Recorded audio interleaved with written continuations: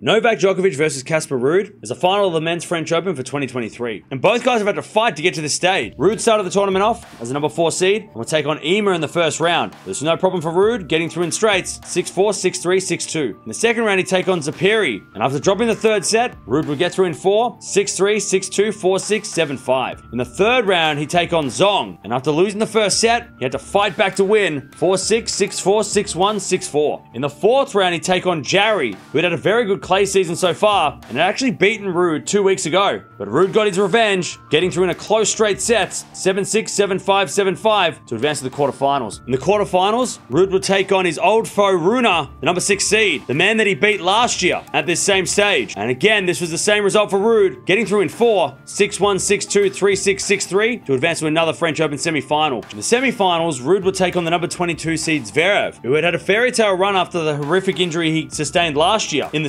semi-final. But Ruud was way too good, getting through in straights, 6-3, 6-4, 6-love, to make it to another Grand Slam final. Djokovic entered the tournament as the number 3 seed and would take on Kovacevic in the first round. This was no problem for Nole, winning in straights, 6-3, 6-2, 7-6. In the second round, he'd take on Fucsovics, and after a long first set, Djokovic would win in straights, 7-6, 6-love, 6-3. In the third round, he'd take on Fokina, the 29th seed, and this was so far Djokovic's toughest match, getting through a long straight sets win, 7-6, 7-6, 6-2. In the fourth round, he'd take on Varillas, who would play three 5-setters, including beating Hurkacz, the 13th seed along the way. This was Djokovic's easiest win, getting through in straights, 6-3, 6-2, 6-2, to advance to the quarterfinals. In the quarterfinals, Djokovic would take on the number 11 seed Khachanov. And after dropping the first set, Djokovic would fight back to win in 4, 4-6, 7-6, 6-2, 6-4 to advance to the semi-finals. In the semi-finals, Djokovic would take on the world number one Carlos Alcaraz, who had just beat up Tsitsipas in the quarterfinals. And after splitting the first two sets, Alcaraz would suffer from cramp, allowing Djokovic to get to the final 6-3, 5-7, 6-1, 6-1. These two guys have played four times before, with Djokovic winning all matches in straight sets, but Ruud has been competitive